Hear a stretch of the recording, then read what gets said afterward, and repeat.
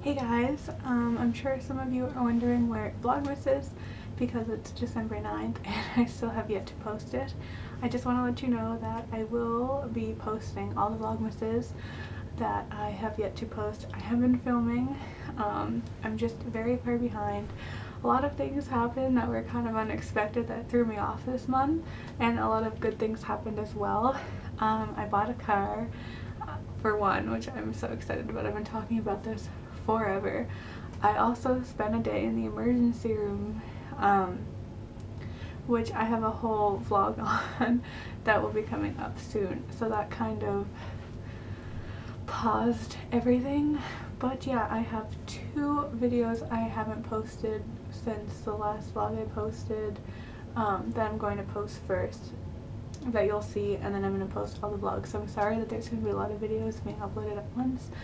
I hope you guys understand, but I just wanted to let you know that I will be posting them, so don't worry. Um, it's a really cool year, um, so I really want to think about, or not think about, remember what happened this month, and yeah, I, um, I'm sorry it's so delayed.